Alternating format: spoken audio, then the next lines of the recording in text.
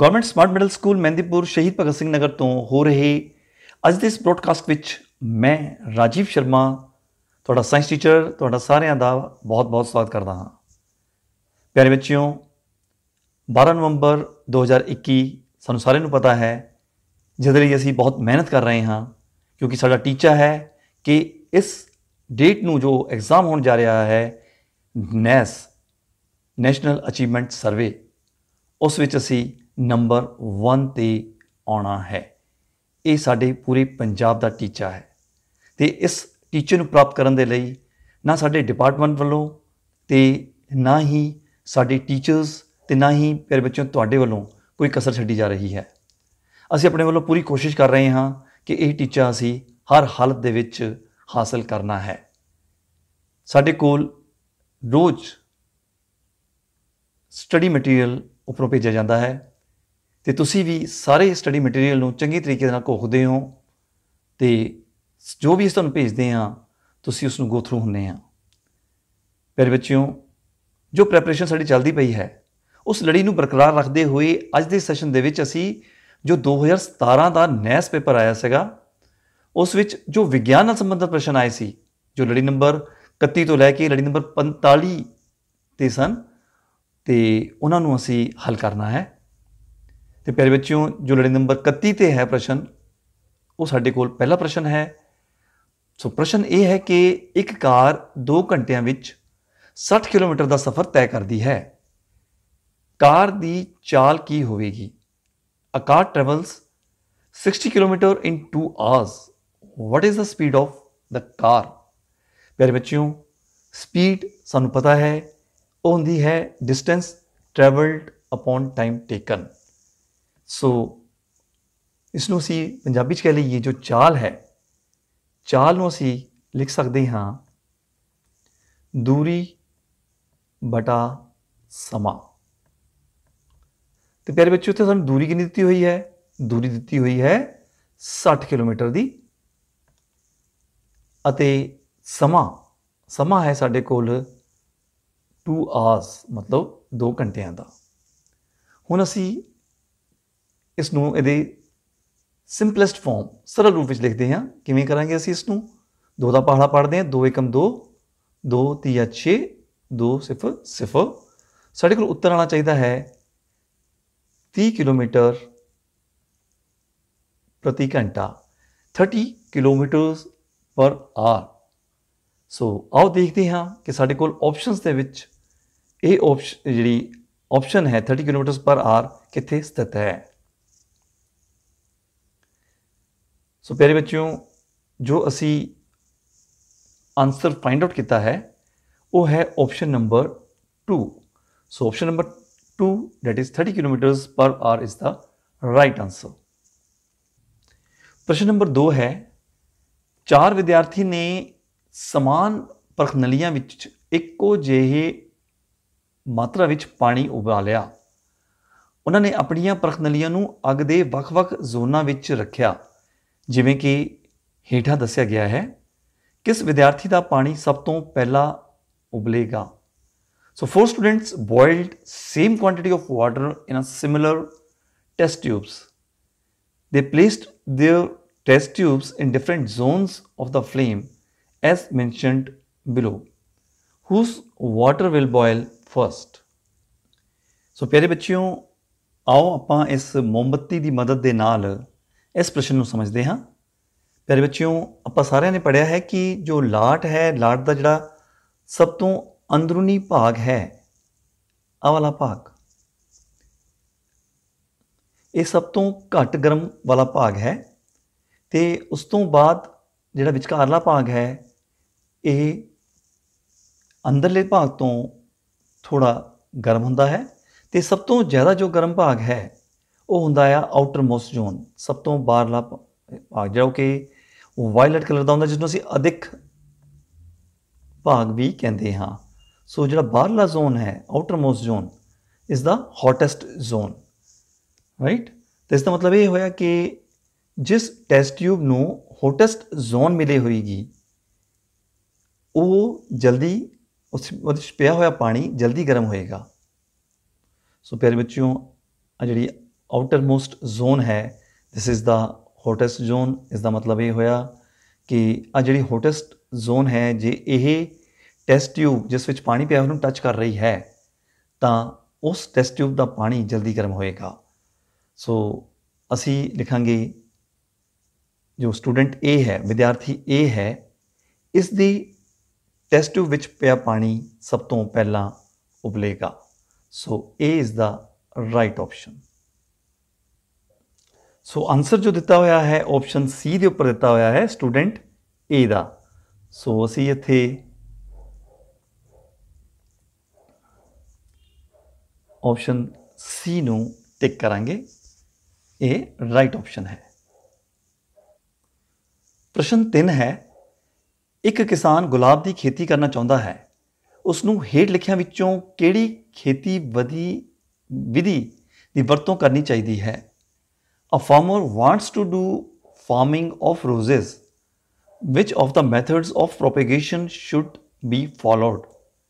So ਪਿਆਰੇ ਬੱਚਿਓ, ਸਾਨੂੰ ਪਤਾ ਹੈ ਕਿ ਗੁਲਾਬ ਦੀ ਖੇਤੀ ਕਿਵੇਂ ਕੀਤੀ ਜਾਂਦੀ ਹੈ? ਗੁਲਾਬ ਹਮੇਸ਼ਾ ਉਹਦੀ ਕਲਮ ਲਗਾਈ ਜਾਂਦੀ ਹੈ। ਤੇ ਕਲਮ ਵੀ ਕਿੱਦਾਂ ਲਗਾਈ ਜਾਂਦੀ ਹੈ? ਉਹ ਤਕਰੀਬਨ 8 ਤੋਂ 9 ਇੰਚ ਦੀ। ਉਸ ਨੂੰ ਡਾਇਗਨਲੀ ਕੱਟਿਆ ਜਾਂਦਾ ਹੈ, ਤਿਰਛਾ ਕੱਟਿਆ ਜਾਂਦਾ ਹੈ ਤੇ ਉਸ ਦੀ ਕਲਮ ਲਗਾਈ ਜਾਂਦੀ ਹੈ। ਸਾਡੇ ਕੋਲ ਆਪਸ਼ਨਸ ਦੇਖਦੇ ਹਨ, ਕਿਹੜੀ ਕਿਹੜੀਆਂ ਹਨ। ਆਪਸ਼ਨਸ ਹੈ ਬੀਜਾਣੂ ਬਣਨਾ ਜੁਗਮਕ ਬਣਨਾ, ਕਲਮ ਲਾਉਣਾ ਤੇ ਖੰਡਨ। ਤੇ ਇਸ ਪ੍ਰਕਾਰ ਸਾਡਾ ਉੱਤਰ ਹੈ ਆਪਸ਼ਨ ਨੰਬਰ ਸੀ ਚ, ਕਲਮ ਲਾਉਣਾ। ਪ੍ਰਸ਼ਨ 4 ਹੈ, ਤੁਹਾਡੇ ਸਕੂਲ ਦੇ ਕੈਂਪਸ ਵਿੱਚ ਇੱਕ ਰੁੱਖ ਹੈ, ਜਦੋਂ ਪਤਝੜ ਦੇ ਦੌਰਾਨ ਇਸ ਦੇ ਪੱਤੇ ਝੜ ਜਾਂਦੇ ਹਨ ਇਹਨਾਂ ਪੱਤਿਆਂ ਦਾ ਨਿਪਟਾਰਾ ਕਰਨ ਦਾ ਸਭ ਤੋਂ ਵਧੀਆ ਤਰੀਕਾ ਕੀ ਹੈ ਸੋ there is a tree in your school campus. During autumn, its leaves shed. What is the best way to dispose of these leaves? ਪਤਝੜ ਦੇ ਮੌਸਮ ਦੌਰਾਨ ਜਦੋਂ ਪੱਤੇ ਝੜਦੇ ਹਨ ਤਾਂ ਉਹਨਾਂ ਨੂੰ ਸੰਭਾਲਣਾ ਵਾਕਈ ਇੱਕ ਔਖਾ ਕੰਮ ਹੈ ਪਰ ਫਿਰ ਵੀ ਜਦੋਂ ਅਸੀਂ ਉਹਨਾਂ ਨੂੰ ਸੰਭਾਲ ਲੈਂਦੇ ਹਾਂ, ਤਾਂ ਸਾਡੇ ਲਈ ਇਹ ਬਹੁਤ ਉਪਯੋਗੀ ਵੀ ਹੈ।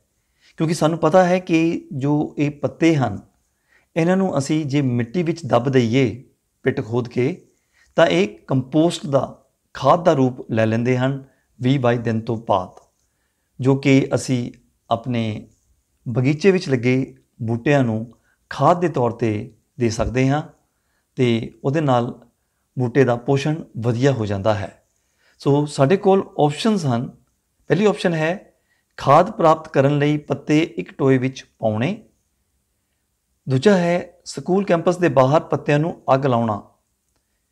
ਫਿਰ ਬੱਚਿਓ, ਜੇ ਅਸੀਂ ਸਕੂਲ ਕੈਂਪਸ ਦੇ ਬਾਹਰ ਪੱਤਿਆਂ ਨੂੰ ਅੱਗ ਲਗਾਵਾਂਗੇ, ਤਾਂ ਉਹਦੇ ਨਾਲ ਕੀ ਹੋਏਗਾ? ਪ੍ਰਦੂਸ਼ਣ ਹੋ ਜਾਏਗਾ। ਅਸੀਂ ਵਾਤਾਵਰਣ ਦਾ ਘਾਣ ਕਰ ਰਹੇ ਹਾਂ, ਨੁਕਸਾਨ ਕਰ ਰਹੇ ਹਾਂ। ਪੱਤਿਆਂ ਨੂੰ ਨੇੜਲੇ ਜਲ ਘਰ ਵਿੱਚ ਸੁੱਟ ਦਿਓ। ਇਹਦੇ ਨਾਲ ਵੀ ਅਸੀਂ ਪ੍ਰਦੂਸ਼ਣ ਨੂੰ ਵਧਾਵਾ ਦੇ ਰਹੇ ਹਾਂ। ਇਹਦੇ ਨਾਲ ਵਾਟਰ ਪੋਲੂਸ਼ਨ ਵੱਧਦਾ ਹੈ।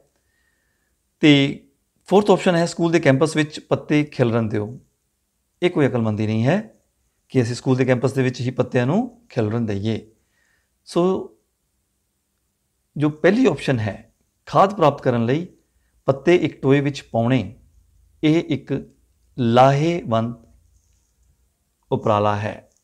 So option 1 is the right option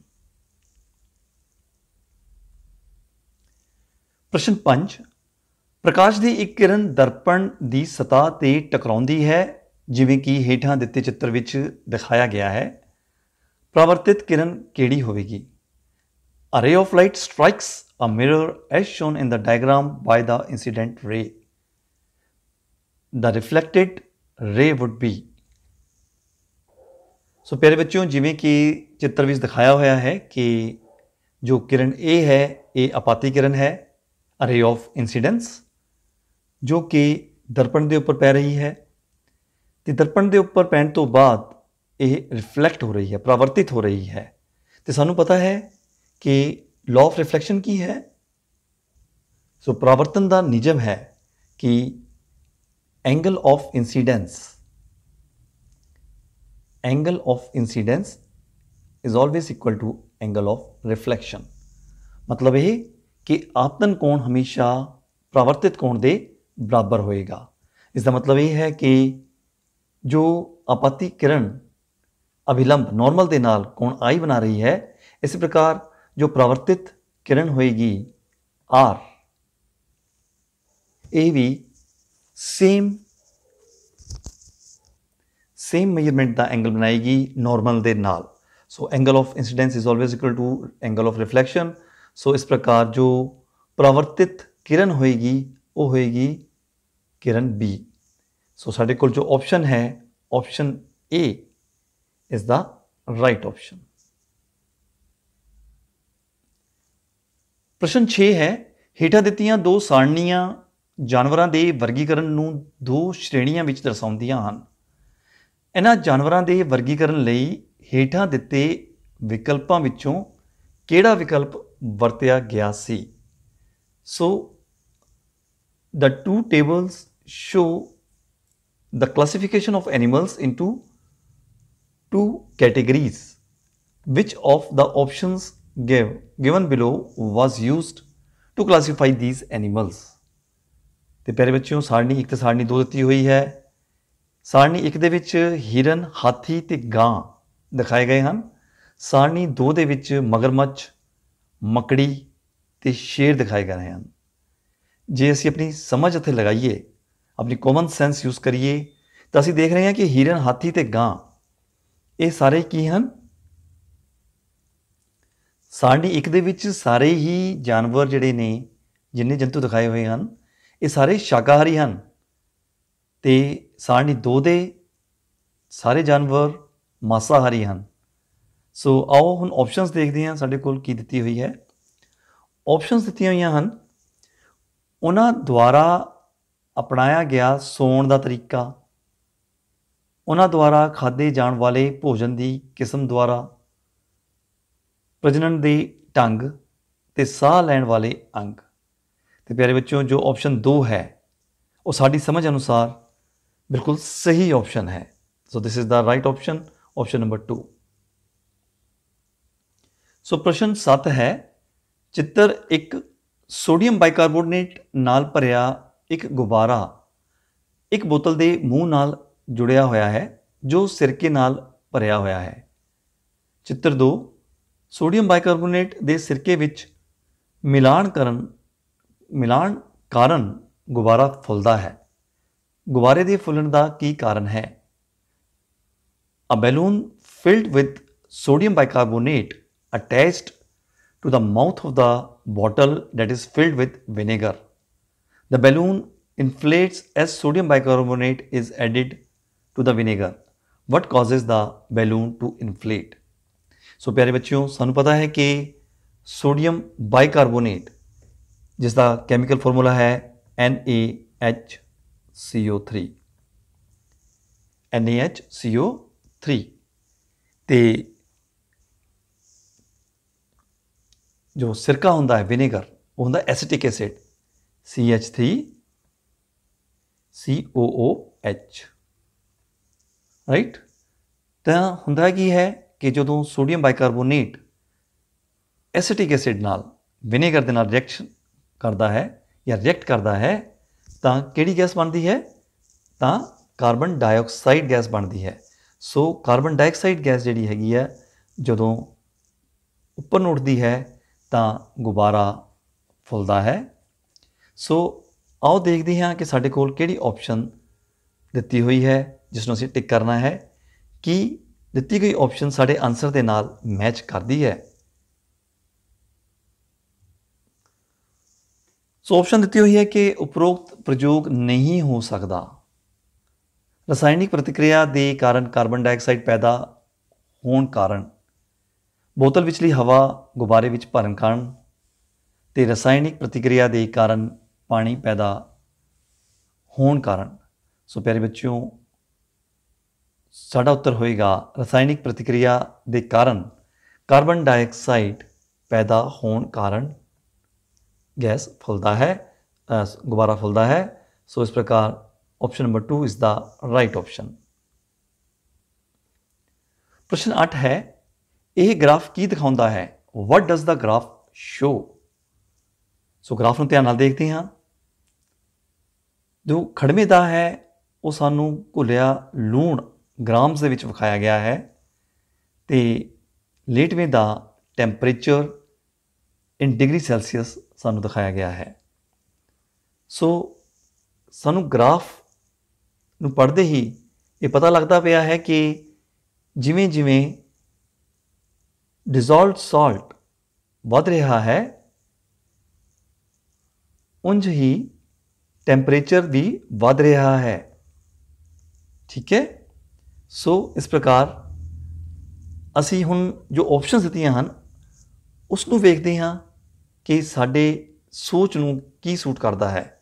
ਜੋ ਅਸੀਂ ਵਿਚਾਰਿਆ ਹੈ ਆਨਸਰ ਉਸ ਹਿਸਾਬ ਨਾਲ ਕਿਹੜੀ ਆਪਸ਼ਨ ਠੀਕ ਹੈ? ਸੋ ਸਾਡੇ ਕੋਲ ਆਪਸ਼ਨ ਇੱਕ ਹੈ ਕਿ ਤਾਪਮਾਨ ਵਧਣ ਨਾਲ ਲੂਣ ਦੇ ਘੁਲਣ ਦੀ ਮਾਤਰਾ ਨੂੰ ਕੋਈ ਫ਼ਰਕ ਨਹੀਂ ਪੈਂਦਾ। There is no change in the amount of dissolved salt with the temperature ਜੋ ਸੈਕਿੰਡ ਆਪਸ਼ਨ ਹੈ, ਉਹ ਹੈ ਕਿ ਤਾਪਮਾਨ ਵਧਣ ਕਾਰਨ ਪਹਿਲਾਂ ਲੂਣ ਦੇ ਘੁਲਣ ਦੀ ਮਾਤਰਾ ਵੱਧਦੀ ਹੈ ਅਤੇ ਫਿਰ ਘਟਦੀ ਹੈ। ਇਹ ਵੀ ਸਹੀ ਉੱਤਰ ਨਹੀਂ ਹੈ। ਤਾਪਮਾਨ ਵਧਣ ਕਾਰਨ, ਵਧਣ ਨਾਲ ਲੂਣ ਦੇ ਘੁਲਣ ਦੀ ਮਾਤਰਾ ਵੱਧਦੀ ਹੈ। ਇਹ ਸਾਡੀ ਸਮਝ ਅਨੁਸਾਰ ਸਹੀ ਆਪਸ਼ਨ ਹੈ। So option number 3 is the right option ਪ੍ਰਸ਼ਨ 9 ਹੈ ਕਿ ਹੇਠਾਂ ਦਿੱਤੇ ਕਿਹੜੇ ਚਿੱਤਰ ਦੁਆਰਾ ਪਾਣੀ ਦੇ ਅਣੂ ਨੂੰ ਹਾਈਡਰੋਜਨ ਪਰਮਾਣੂਆਂ ਜੋ ਕਿ ਚਿੱਟੇ ਗੋਲੇ ਨਾਲ ਦਰਸਾਏ ਗਏ ਹਨ ਅਤੇ ਆਕਸੀਜਨ ਪਰਮਾਣੂ ਕਾਲੇ ਗੋਲੇ ਦੇ ਸੰਯੋਜਨ ਦੁਆਰਾ ਦਰਸਾਇਆ ਗਿਆ ਹੈ so in which of the boxes below the water molecules are shown by combining hydrogen atoms with white circles and oxygen atoms shown by black circles so ਪਿਆਰੇ ਬੱਚਿਓ ਅਸੀਂ ਦਿੱਤੇ ਗਏ ਚਿੱਤਰਾਂ ਨੂੰ ਧਿਆਨ ਨਾਲ ਦੇਖਦੇ ਹਾਂ ਤੇ ਸਾਨੂੰ ਦੱਸਿਆ ਗਿਆ ਹੈ ਕਿ ਜੋ ਪਾਣੀ ਦੇ ਅਣੂ ਹਨ, ਨੂੰ ਹਾਈਡਰੋ, ਹਾਈਡਰੋਜਨ ਪਰਮਾਣੂ ਚਿੱਟੇ ਗੋਲੇ ਨਾਲ ਦਿਖਾਏ ਗਏ ਹਨ। ਸੋ ਇਹ ਸਾਡੇ ਕੋਲ ਹੋਣਗੇ।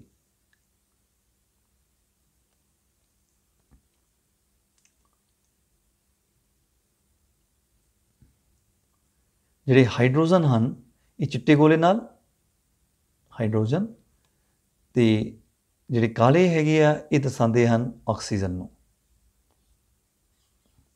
ਤੇ ਸਾਨੂੰ ਪਤਾ ਹੈ ਕਿ ਜੋ ਹਾਈਡਰੋਜਨ ਦਾ ਸੂਤਰ ਕੀ ਹੁੰਦਾ ਹੈ? ਸੌਰੀ ਵਾਟਰ ਦਾ। ਵਾਟਰ ਦਾ ਫਾਰਮੂਲਾ ਹੁੰਦਾ ਹੈ H2O ਠੀਕ ਹੈ ਜੀ? ਦੋ ਪਰਮਾਣੂ ਹਾਈਡਰੋਜਨ ਦੇ ਤੇ ਇੱਕ ਪਰਮਾਣੂ ਆਕਸੀਜਨ ਦਾ। ਸੋ ਇਸ ਪ੍ਰਕਾਰ ਜੋ ਚਿੱਤਰ ਨੰਬਰ 2 ਹੈ, ਇਹ ਸਹੀ ਉੱਤਰ ਹੈ। ਤੇ ਆਓ ਹੁਣ ਆਪਸ਼ਨਸ ਵੀ ਟਿਕ ਕਰ ਦਿੰਨੇ ਹਾਂ। ਸੋ ਇਸ ਪ੍ਰਕਾਰ ਆਪਸ਼ਨ ਜੋ ਸੀ ਹੈ, ਇਹ ਸਾਡੇ ਹਿਸਾਬ ਨਾਲ ਸਹੀ ਆਪਸ਼ਨ ਹੈ। ਪ੍ਰਸ਼ਨ 10 ਹੇਠਾਂ ਇੱਕ ਸਰਕਟ ਚਿੱਤਰ ਦਿੱਤਾ ਹੈ, ਜਿਸ ਵਿੱਚ ਇੱਕ ਬਲਬ ਅਤੇ ਇੱਕ ਬੈਟਰੀ ਜੁੜੀ ਹੋਈ ਹੈ। ਬਿੰਦੂ P ਅਤੇ Q ਨੂੰ ਜੋੜਨ ਲਈ ਵੱਖ-ਵੱਖ ਸਮੱਗਰੀ ਦੀਆਂ ਛੜਾਂ ਦੀ ਵਰਤੋਂ ਕੀਤੀ ਜਾਂਦੀ ਹੈ। ਕਿਹੜੀ ਛੜ ਜੋੜਨ ਨਾਲ ਬਲਬ ਨੂੰ ਰੋਸ਼ਨੀ ਮਿਲੇਗੀ so the figure below is a circuit diagram with a bulb and a battery rods of different material are used to connect the points P and Q which rod would cause the bulb to light ਤੋ ਪਿਆਰੇ ਬੱਚਿਓ ਚਿੱਤਰ ਨੂੰ ਦੇਖਦੇ ਹੀ ਅਸੀਂ ਜਾਣ ਜਾਂਦੇ ਹਾਂ ਕਿ ਇਹ ਖੁੱਲਾ ਸਰਕਟ ਹੈ ਇਸ ਵਿੱਚ ਬਲਬ ਨਹੀਂ ਜਗ ਰਿਹਾ। ਤੇ ਬਲਬ ਜਗਾਉਣ ਵਾਸਤੇ ਸਾਡੇ ਕੋਲ ਕੁਝ ਆਪਸ਼ਨਸ ਦਿੱਤੀਆਂ ਹੋਈਆਂ ਹਨ। ਤੇ ਆਓ ਉਹਨਾਂ ਆਪਸ਼ਨਸ ਨੂੰ ਜਾਣ ਜਾਂਦੇ ਹਾਂ। ਸਾਡੇ ਕੋਲ ਫਰਸਟ ਆਪਸ਼ਨ ਦਿੱਤੀ ਹੋਈ ਹੈ ਪਲਾਸਟਿਕ ਤੇ ਪਿਆਰੇ ਬੱਚੋਂ ਸਾਨੂੰ ਪਤਾ ਹੈ ਕਿ plastic is a bad conductor of electricity ਇਹ ਰੋਧਕ ਹੈ। ਇਸ ਲਈ ਪੇਚ ਜੋ ਟੈਸਟ ਪਿਨ ਹੁੰਦੇ ਹਨ ਜਾਂ ਪੇਚਕਸ ਹੁੰਦੇ ਹਨ ਜਾਂ ਪਲਾਸ ਹੁੰਦਾ ਹੈ, ਜੋ ਇਹ ਉਹ ਟੂਲਸ ਨੇ ਜੋ ਇੱਕ ਜੋ ਬਿਜਲੀ ਮਕੈਨਿਕ ਹੈ, ਬਿਜਲੀ ਦੀ ਮੁਰੰਮਤ ਕਰਨ ਵਾਸਤੇ ਵਰਤਦਾ ਹੈ। ਤਾਂ ਉਹਨਾਂ ਦੇ ਜਿਹੜੀਆਂ ਮੁੱਠਾਂ ਹੁੰਦੀਆਂ ਹਨ, ਉਹ ਪਲਾਸਟਿਕ ਦੀਆਂ ਬਣੀਆਂ ਹੁੰਦੀਆਂ ਹਨ। ਉਹ ਇਸ ਕਰਕੇ ਪਲਾਸਟਿਕ ਦੀ ਬਣੀਆਂ ਹੁੰਦੀਆਂ ਹਨ ਕਿਉਂਕਿ ਇਹ ਪਲਾਸਟਿਕ ਬਿਜਲੀ ਦਾ ਰੋਧਕ ਹੈ। ਤਾਂ ਜੋ ਉਹਨਾਂ ਨੂੰ ਕਰੰਟ ਨਾ ਲੱਗੇ। ਇਸ ਲਈ ਇਹ ਤਾਂ ਆਨਸਰ ਹੋ ਹੀ ਨਹੀਂ ਸਕਦਾ। ਸੈਕੰਡ ਆਪਸ਼ਨ ਦੇ ਵਿੱਚ ਹੈ ਸ਼ੀਸ਼ਾ। ਤੇ ਪਿਆਰੇ ਬੱਚਿਓ ਤੁਸੀਂ ਦੇਖਿਆ ਹੋਣਾ ਕਿ ਕਈ ਇਲੈਕਟ੍ਰੀਕਲ ਅਪਲਾਈਐਂਸਸ ਦੇ ਵਿੱਚ ਇੱਕ ਬਰੀਕ ਜੀ ਤਾਰ ਜੋ ਕਿ ਇੱਕ ਗਲਾਸ ਟਿਊਬ ਦੇ ਨਾਲ ਕਵਰ ਕੀਤੀ ਹੁੰਦੀ ਹੈ, ਉਹ ਐਜ਼ ਅ ਫਿਊਜ਼ ਯੂਜ਼ ਕੀਤੀ ਜਾਂਦੀ ਹੈ। ਠੀਕ ਹੈ? ਇਸ ਦਾ ਮਤਲਬ ਇਹ ਹੋਇਆ ਕਿ ਕੱਚ ਕੱਚ ਦੇ ਵਿੱਚ, ਕੱਚ ਦੀ ਜਿਹੜੀ ਕਵਰਿੰਗ ਕਿਉਂ ਦਿੱਤੀ ਗਈ ਹੈ? ਤਾਂ ਕਿ ਸ਼ਾਰਟ ਨਾ ਲੱਗੇ, ਕਰੰਟ ਨਾ ਲੱਗੇ। ਇਸ ਦਾ ਮਤਲਬ ਸ਼ੀਸ਼ੇ ਦਾ ਵੀ ਇਸਤੇਮਾਲ ਨਹੀਂ ਕੀਤਾ ਜਾ ਸਕਦਾ ਸਰਕਟ ਨੂੰ ਬਣਾਉਣ ਵਾਸਤੇ। ਥਰਡ ਆਪਸ਼ਨ ਹੈ ਲੱਕੜ। ਲੱਕੜ ਵੀ ਤੁਹਾਨੂੰ ਪਤਾ ਹੈ ਕਿ ਇਹ ਬਿਜਲੀ ਦੀ ਰੋਧਕ ਹੈ। ਸੋ ਚੌਥੀ ਆਪਸ਼ਨ ਰਹਿ ਜਾਂਦੀ ਹੈ ਤਾਂਬਾ। ਤਾਂਬਾ ਸਾਨੂੰ ਸਾਰਿਆਂ ਨੂੰ ਪਤਾ ਹੈ ਕਿ ਇੱਥੇ ਯੂਜ਼ ਹੁੰਦਾ ਹੈ ਬਿਜਲੀ ਦੀਆਂ ਤਾਰਾਂ 'ਚ। ਜੋ ਬਿਜਲੀ ਦੀਆਂ ਤਾਰਾਂ ਹੁੰਦੀਆਂ ਹਨ, ਉਹ ਤਾਂਬੇ ਦੀਆਂ ਜਾਂ ਐਲੂਮੀਨੀਅਮ ਦੀਆਂ ਜਾਂ ਐਲੋਏ ਦੀਆਂ ਬਣੀਆਂ ਹੁੰਦੀਆਂ ਹਨ। ਸੋ ਇਹ ਸਾਰੇ ਬਿਜਲੀ ਦੇ ਚਾਲਕ ਹਨ। ਇਸ ਲਈ option number 4th is the right option copper ਦਾ ਜੀ ਆਪਾਂ ਜੇ ਰੋਡ ਇਨ ਟੱਚ ਕਰਾਂਗੇ P ਅਤੇ Q ਐਂਡਸ ਨੂੰ ਤਾਂ ਸਰਕਟ ਪੂਰਾ ਹੋ ਜਾਏਗਾ ਪ੍ਰਸ਼ਨ 11 ਹੈ ਹੇਠਾਂ ਦਿੱਤੀਆਂ ਰਸਾਇਣਿਕ ਪ੍ਰਕਿਰਿਆਵਾਂ ਵਿੱਚੋਂ ਕਿਹੜੀ ਪ੍ਰਕਿਰਿਆ ਦੁਆਰਾ ਊਰਜਾ ਸੋਖੀ ਜਾ ਰਹੀ ਹੈ during which of the chemical processes below is energy being absorbed? ਸਾਡੇ ਕੋਲ ਆਪਸ਼ਨਸ ਹਨ ਸਬਜ਼ੀਆਂ ਦਾ ਸੜਨਾ ਮੋਮਬੱਤੀ ਦਾ ਜਲਣਾ, ਪੌਦਿਆਂ ਵਿੱਚ ਪ੍ਰਕਾਸ਼ ਸੰਸਲੇਸ਼ਣ ਤੇ ਲੋਹੇ ਨੂੰ ਜੰਗ ਲੱਗਣਾ। ਫਿਰ ਵਿੱਚੋਂ ਅਸੀਂ ਸਾਰੇ ਜਾਣਦੇ ਹਾਂ ਕਿ ਪ੍ਰਕਾਸ਼ ਸੰਸਲੇਸ਼ਣ ਕਿਰਿਆ ਕੀ ਹੁੰਦੀ ਹੈ। ਇਸ ਵਿੱਚ ਪੌਦਿਆਂ ਦੁਆਰਾ ਪ੍ਰਕਾਸ਼ ਊਰਜਾ ਸੋਖੀ ਜਾਂਦੀ ਹੈ। ਠੀਕ ਹੈ? ਇਸ ਲਈ ਸਾਡਾ ਜੋ ਉੱਤਰ ਹੋਏਗਾ, ਉਹ ਹੋਏਗਾ option number C third option is the right option so question number 12 is given the two lists, list 1 and list 2, how have the above two lists been categorized? So ਹੇਠਾਂ ਦੋ ਸੂਚੀਆਂ ਸੂਚੀ 1 ਅਤੇ ਸੂਚੀ 2 ਦਿੱਤੀਆਂ ਗਈਆਂ ਹਨ ਉਪਰੋਕਤ ਦੋ ਸੂਚੀਆਂ ਨੂੰ ਕਿਵੇਂ ਸ਼੍ਰੇਣੀਬੱਧ ਕੀਤਾ ਗਿਆ ਹੈ ਸੋ ਪਿਆਰੇ ਬੱਚਿਓ ਜੋ ਸੂਚੀ 1 ਹੈ ਉਸ ਵਿੱਚ ਹਵਾ ਤੇ ਸਮੁੰਦਰੀ ਪਾਣੀ ਨੂੰ ਰੱਖਿਆ ਗਿਆ ਹੈ। ਸੂਚੀ 2 ਵਿੱਚ ਚੀਨੀ ਤੇ ਨਮਕ। ਚੀਨੀ, ਜੋ ਟੇਬਲ ਸ਼ੂਗਰ ਹੈ ਤੇ ਉਸ ਦਾ ਫਾਰਮੂਲਾ ਕੀ ਹੁੰਦਾ ਹੈ? C12H22O11 ਇਹ ਇੱਕ ਕੰਪਾਊਂਡ ਹੈ। ਕੰਪਾਊਂਡ ਕੀ ਹੁੰਦਾ ਹੈ? ਜੋ ਮੋਰ ਦੈਨ ਟੂ ਸਬਸਟੈਂਸਸ ਔਰ ਥਿੰਗਸ ਦੇ ਕੰਬੀਨੇਸ਼ਨ ਦੇ ਨਾਲ ਬਣਦਾ ਹੈ। ਲੇਕਿਨ ਇਹਨਾਂ ਦੀ ਇੱਕ ਇੱਕ ਸੈਟ ਰੇਸ਼ੋ ਹੁੰਦੀ ਹੈ। ਇੱਕ ਖਾਸ ਅਨੁਪਾਤ ਹੁੰਦਾ ਹੈ। ਠੀਕ ਹੈ? ਸੋ ਇਸ ਤਰੀਕੇ ਨਾਲ ਨਮਕ ਸੋਡੀਅਮ ਤੇ ਕਲੋਰੀਨ ਦੁਆਰਾ, ਜਿਹਨੂੰ ਅਸੀਂ ਸਧਾਰਨ ਨਮਕ ਕਹਿੰਦੇ ਹਾਂ। ਸੋ NaCl ਜਿਹੜਾ ਹੈ ਸੋਡੀਅਮ ਕਲੋਰਾਈਡ ਇਹ ਵੀ ਇੱਕ ਕੰਪਾਊਂਡ ਹੈ ਯੋਗਿਕ ਹੈ। ਜਦਕਿ ਹਵਾ, ਇਹ ਵੱਖ-ਵੱਖ ਗੈਸਾਂ ਦਾ ਮਿਸ਼ਰਣ ਹੈ। ਗੈਸਾਂ ਦਾ ਮਿਸ਼ਰਣ ਹੈ ਧੂੜੀ ਕਣ ਹੈ ਪਾਣੀ ਦੇ ਡ੍ਰੌਪਸ ਹਨ ਪ੍ਰਦੂਸ਼ਣ ਹੈ ਕਈ ਤਰ੍ਹਾਂ ਦਾ। ਰਾਈਟ ਇਸੇ ਤਰੀਕੇ ਨਾਲ ਸਮੁੰਦਰੀ ਪਾਣੀ ਇਹ ਵੀ ਇੱਕ ਮਿਸ਼ਰਣ ਹੈ। ਤੋ ਆਓ ਹੁਣ ਆਪਣੀ ਸਮਝ ਅਨੁਸਾਰ ਅਸੀਂ ਆਪਸ਼ਨਸ ਦੇਖਦੇ ਹਾਂ ਸਾਨੂੰ ਕੀ ਦਿੱਤਾ ਹੋਇਆ ਹੈ।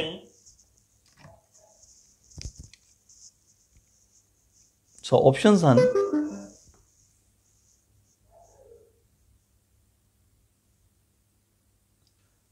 ਸੂਚੀ ਇੱਕ ਵਿੱਚ ਮਿਸ਼ਰਣ ਹਨ, ਸੂਚੀ 2 ਵਿੱਚ ਯੋਗਿਕ ਹਨ। ਸੂਚੀ 1 ਵਿੱਚ ਅਤੇ ਸੂਚੀ 2 ਦੋਵਾਂ ਵਿੱਚ ਯੋਗਿਕ ਹਨ। ਸੂਚੀ 1 ਵਿੱਚ ਯੋਗਿਕ ਹਨ ਅਤੇ ਸੂਚੀ 2 ਵਿੱਚ ਮਿਸ਼ਰਣ ਹਨ। ਤੇ ਫੋਰਥ ਹੈ, ਸੂਚੀ 1 ਵਿੱਚ ਅਤੇ ਸੂਚੀ 2ਵਾਂ ਵਿੱਚ ਮਿਸ਼ਰਣ ਹਨ।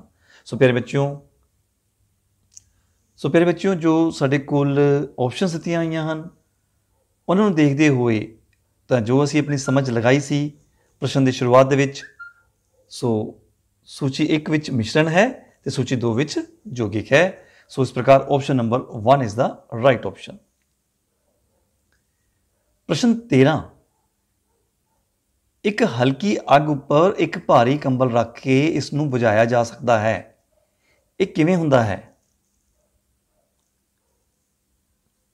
A small fire can be put off by placing a heavy blanket over it.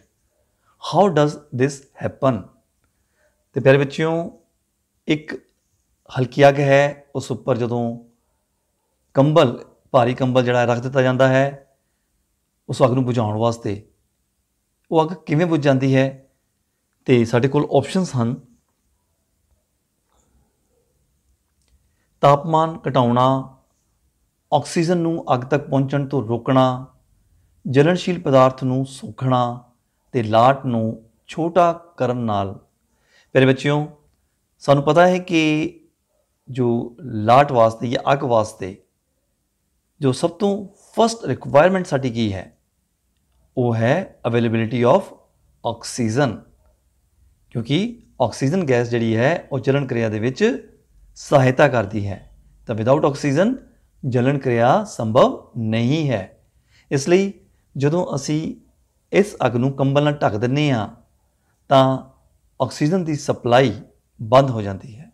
ਸੋ ਇਸ ਪ੍ਰਕਾਰ ਅਸੀਂ ਕਹਿ ਸਕਦੇ ਹਾਂ ਕਿ option number 2 is the right option so option 2 ਨੂੰ ਅਸੀਂ ਟਿਕ ਕਰਾਂਗੇ। ਪ੍ਰਸ਼ਨ 14 ਤੁਹਾਡੇ ਦੋਸਤ ਨੇ ਇੱਕ ਚਟਾਨ ਤੇ ਚੜਨਾ ਹੈ। ਸੁਰੱਖਿਅਤ ਚੜ੍ਹਾਈ ਕਰਨ ਲਈ ਉਸ ਨੂੰ ਰੱਸੀ ਦੀ ਚੋਣ ਕਰਨ ਵਿੱਚ ਤੁਹਾਡੀ ਮਦਦ ਚਾਹੀਦੀ ਹੈ। ਤੁਸੀਂ ਉਸ ਨੂੰ ਹੇਠਾਂ ਦਿੱਤੀਆਂ ਰੱਸੀਆਂ ਵਿੱਚੋਂ ਕਿਹੜੀ ਰੱਸੀ ਚੁਣਨ ਦਾ ਸੁਝਾਅ ਦਿਓਗੇ your friend has to climb a rock she wants your help to select the rope for safe climbing which of the following ropes would you suggest her ਸਾਡੇ ਕੋਲ ਆਪਸ਼ਨਸ ਦਿੱਤੀ ਹੋਈ ਹੈ ਰੋਪਸ ਲਈ ਤਾਂ ਪਹਿਲਾਂ ਆਓ ਆਪਸ਼ਨਸ ਜਾਣ ਜਾਣੇ ਹਾਂ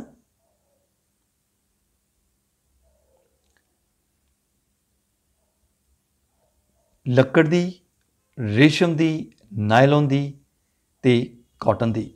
ਤੇ ਪਿਆਰੇ ਬੱਚਿਓ, ਸਭ ਤੋਂ ਮਜ਼ਬੂਤ ਰੱਸੀ ਕਿਸ ਤੋਂ ਬਣੀ ਹੋਏਗੀ?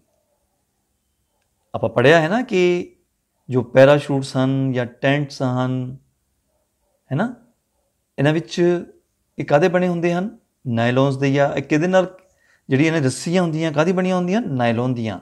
ਕਿਉਂਕਿ ਨਾਇਲੋਨ ਬਹੁਤ ਮਜ਼ਬੂਤ ਹੁੰਦਾ ਹੈ ਤੇ ਇੱਕ ਸੰਸਲਿਸ਼ਟ ਰੇਸ਼ਾ ਹੈ। ਠੀਕ ਹੈ ਜੀ? ਇਹ ਇੱਕ ਪੈਟਰੋ ਰਸਾਇਣ ਤੋਂ ਤਿਆਰ ਕੀਤਾ ਜਾਂਦਾ ਹੈ। ਤਾਂ ਇਸ ਲਈ ਜੋ ਆਪਸ਼ਨ ਨੰਬਰ 3 ਹੈ, ਇਸ ਦਾ ਰਾਈਟ ਆਪਸ਼ਨ ਸੋ ਅਸੀਂ ਇਸ ਨੂੰ ਟਿਕ ਕਰਾਂਗੇ। ਪ੍ਰਸ਼ਨ 15 ਹੇਠਾਂ ਦਿੱਤੇ ਚਿੱਤਰ ਨੂੰ ਵੇਖੋ। ਬੱਚਾ 1 ਅਤੇ ਬੱਚਾ 2 ਦਾ ਲਿੰਕ ਕੀ ਹੋਵੇਗਾ?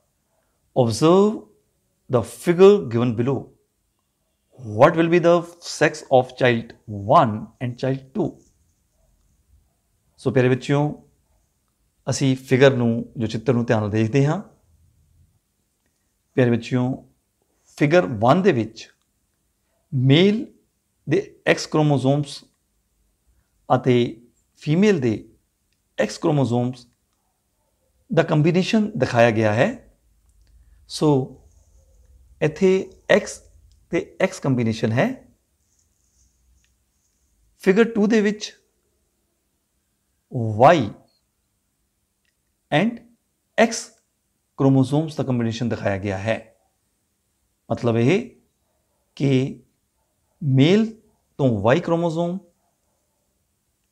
ਤੇ ਫੀਮੇਲ ਤੋਂ X ਕ੍ਰੋਮੋਸੋਮ ਸਾਨੂੰ ਸਾਰਿਆਂ ਨੂੰ ਪਤਾ ਹੈ ਕਿ ਮੇਲ ਕੋਲ X ਤੇ Y ਦੋਨੋਂ ਕ੍ਰੋਮੋਸੋਮਸ ਹੁੰਦੇ ਹਨ, ਜਦਕਿ ਫੀਮੇਲ ਕੋਲ XX ਕ੍ਰੋਮੋਸੋਮਸ ਹੀ ਹੁੰਦੇ ਹਨ। ਸੋ ਇਸ ਪ੍ਰਕਾਰ ਜਦੋਂ YX ਦਾ ਕੰਬੀਨੇਸ਼ਨ ਦਿਖਾਇਆ ਗਿਆ ਹੈ, ਤਾਂ ਅਸੀਂ ਆਪਸ਼ਨਸ ਦੇਖਦੇ ਹਾਂ ਕਿ ਸਾਨੂੰ ਕੀ ਦਿੱਤਾ ਹੋਇਆ ਹੈ, ਉਹ ਚੋਂ ਕਿਹੜਾ ਆਨਸਰ ਸੂਟੇਬਲ ਹੈ।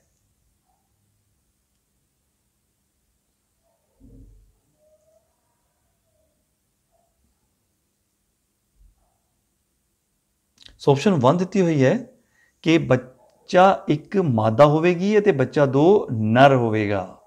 ਇਹ ਬਿਲਕੁਲ ਸਹੀ ਆਪਸ਼ਨ ਹੈ ਬੇਟਾ। ਸੋ ਇਸ ਪ੍ਰਕਾਰ ਆਪਸ਼ਨ ਨੰਬਰ 1 ਇਸ ਦਾ ਰਾਈਟ ਆਪਸ਼ਨ ਤੇ ਪਿਆਰੇ ਬੱਚਿਓ, ਇਸ ਪ੍ਰਸ਼ਨ ਦੇ ਨਾਲ ਹੀ ਸਾਡਾ ਜੋ ਨੈਸ ਸੰਬੰਧਤ, ਜੋ 2017 ਦੇ ਵਿੱਚ ਸਾਇੰਸ ਸੰਬੰਧਤ ਕੁਐਸਚਨਸ ਆਏ ਸਨ, ਪੇਪਰ ਦੇ ਵਿੱਚ, ਉਹ ਸਾਰੇ ਕੰਪਲੀਟ ਕਰ ਲਏ ਗਏ ਹਨ। ਤੇ ਪਿਆਰੇ ਬੱਚਿਓ, ਤੁਸੀਂ ਆਉਣ ਵਾਲੀ ਵੀਡੀਓਜ਼ ਵੀ ਇਸੇ ਤਰੀਕੇ ਨਾਲ ਦੇਖਣੀਆਂ ਹਨ। ਕਿਉਂਕਿ ਅਸੀਂ ਕੋਸ਼ਿਸ਼ ਕਰਾਂਗੇ ਕਿ ਹਰ ਦੂਸਰੇ ਦਿਨ ਤੁਹਾਨੂੰ ਇੱਕ ਸੈਂਪਲ ਟੈਸਟ ਪੇਪਰ ਦੇ ਉੱਪਰ ਵੀਡੀਓ ਤਿਆਰ ਕਰਕੇ ਭੇਜੀ ਜਾਵੇ। ਤਾਂ ਜੋ ਸਾਡਾ ਨਹਿ ਸੰਬੰਧਤ ਜੋ ਟੀਚਾ ਹੈ ਉਸ ਨੂੰ ਅਸੀਂ ਪਾ ਸਕੀਏ। ਸੋ ਨੈਸ ਟੀਚੇ ਨੂੰ ਪਾਉਣ ਲਈ ਅਸੀਂ ਤੇ ਤੁਸੀਂ ਸਾਥ-ਸਾਥ ਹੈ। Right all the very best ਫਿਰ ਮਿਲਾਂਗੇ ਨੈਕਸਟ ਵੀਡੀਓ ਦੇ ਵਿੱਚ। Thank you very much for viewing this video and please do share and subscribe. Thank you.